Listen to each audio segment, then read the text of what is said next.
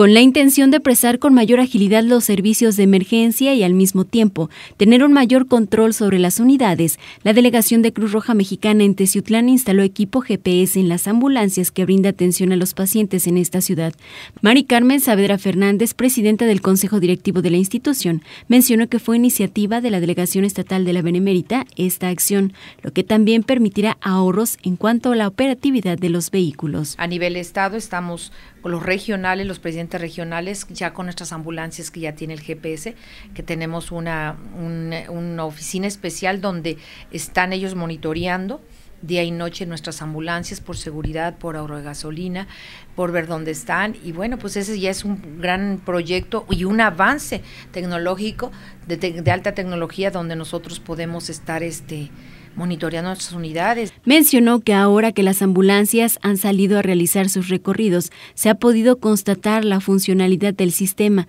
donde se monitorea el lugar donde se encuentran y la velocidad a la que transitan por seguridad del personal y del paciente, según dijo la también empresaria, destacando que con el sistema GPS también supervisará la rapidez de las ambulancias, teniendo autorizado para los conductores de las mismas hasta 110 kilómetros por hora en carretera y 90 kilómetros por hora en zona urbana, de lo contrario, tanto la unidad como el operador pueden quedar suspendidos, a punto Saavedra Fernández. Así que no pueden manejar más de 110 kilómetros por hora por seguridad de nuestro personal y por seguridad de la gente que viene o nos rodea, ¿no? Para evitar un accidente. Yo creo que hemos estado progresando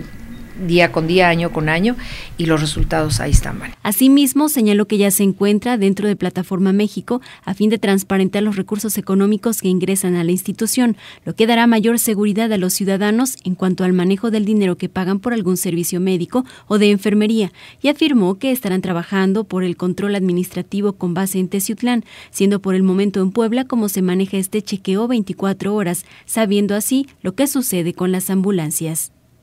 Con imágenes de Ernesto Vázquez para Informativo 9, Vanessa Enríquez Ayago.